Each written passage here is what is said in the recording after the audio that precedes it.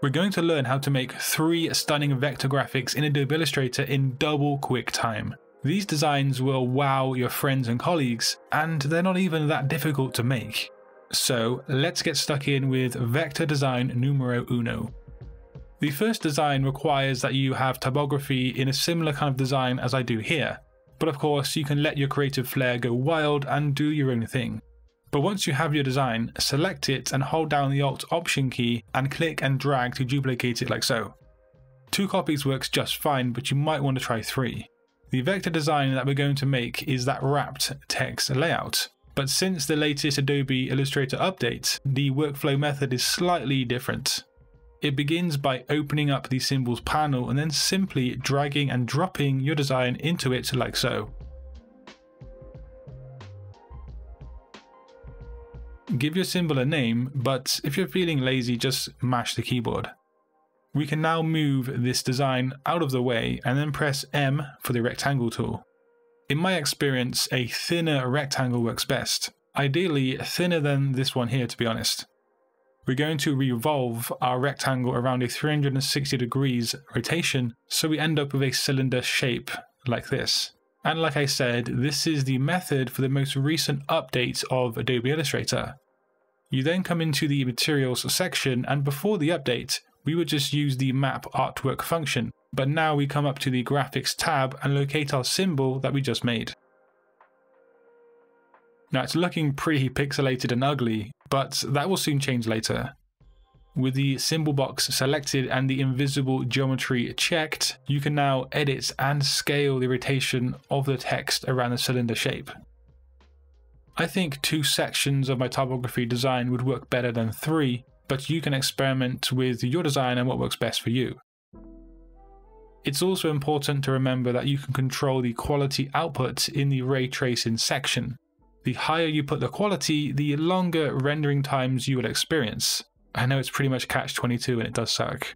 But we can rotate and position the design like so, and then another setting you need to be aware of is the document raster effects settings. High 300 ppi will show your design in the best quality possible, but again, things will be slower to render. So it's best to work in 72 ppi and then switch it up to 300 for the final render output. And finally, you can expand the appearance, and this will prevent your computer from slowing down when moving or scaling your design.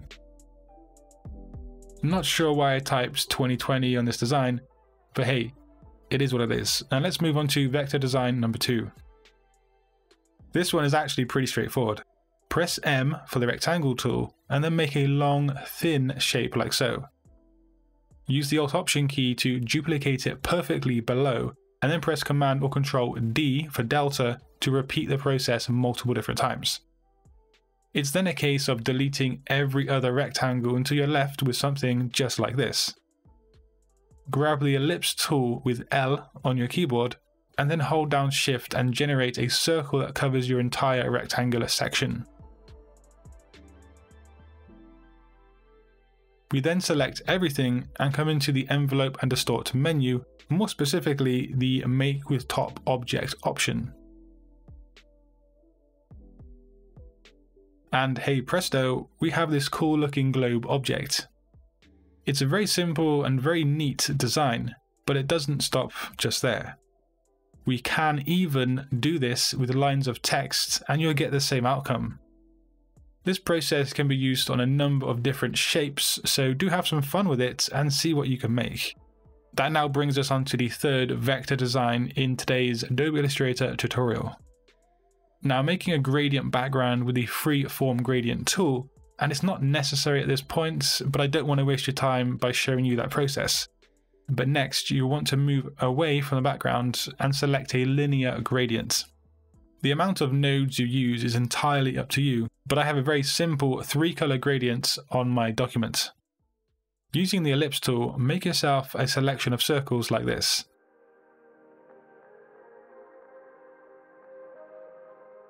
We then want to copy them over and it will help the final end result being more interesting if they are different sizes. Select all of your circles in the first group and then turn them into a compound path.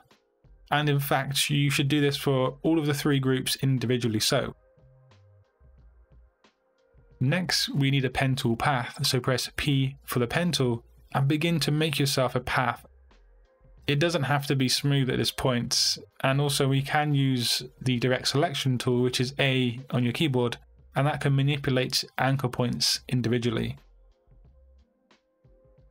We can then, of course, come over to the smooth tool first, select it, then select your path, and then use the smooth tool on the path itself.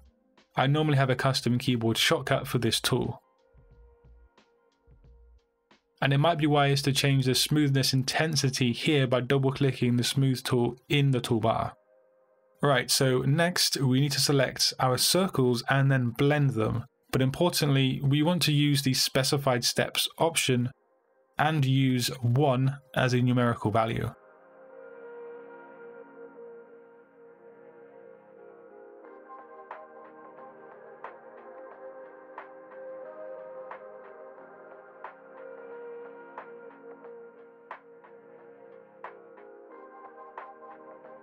Then select your newly blended shapes and the pen tool path as well, and come into the replace spine option found right here.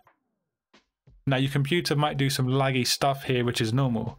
Illustrator is likely doing the equivalent of running a marathon while reciting the alphabet backwards. And this blended design works well with just one circle instead of all those circles that we made. It's up to you what you do and you can really make some interesting things with this one, so do experiment and do have some fun. And if you want to learn more about Illustrator or graphic design, just click a video on screen. And until next time, design your future today. Peace.